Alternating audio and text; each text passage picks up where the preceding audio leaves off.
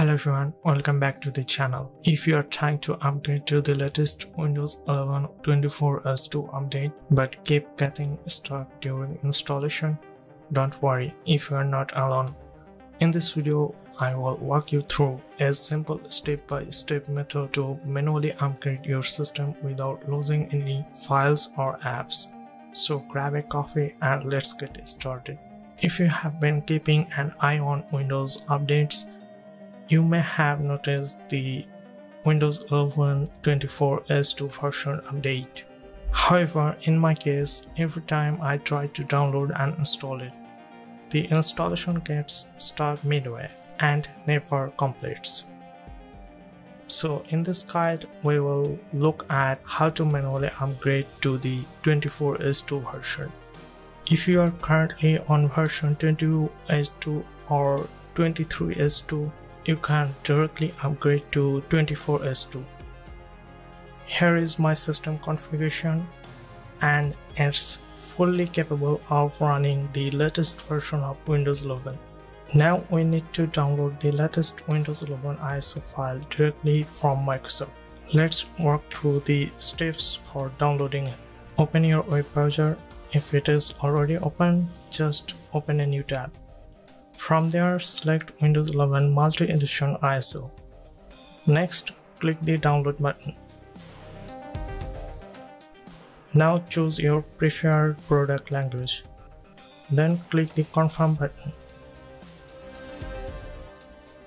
Now click on the 64-bit download button.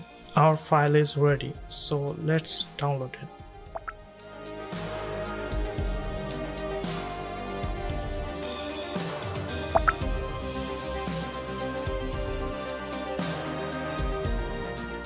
Once the downloaded is completed, open the ISO file using Windows Explorer.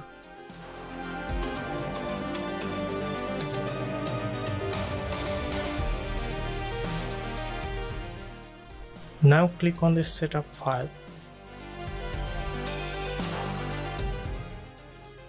Note that make sure you have at least 30 gigs of free space on your C drive. Click on change how to set up downloads updates. Choose not right now and click next.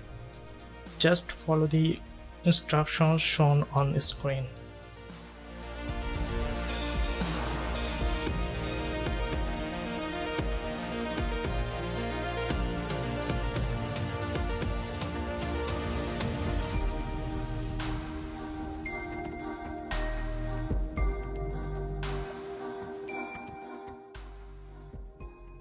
Click change what to keep. If you want to upgrade while keeping all your files and apps intact, select keep personal files and apps. Now click next.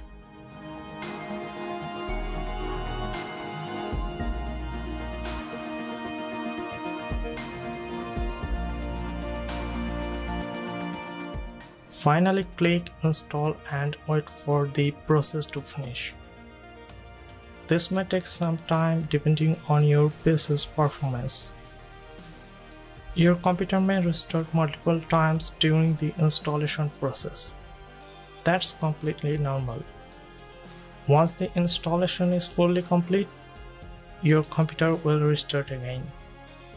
And just like that, we have successfully completed the upgrade. To check, right click on the start menu and click system.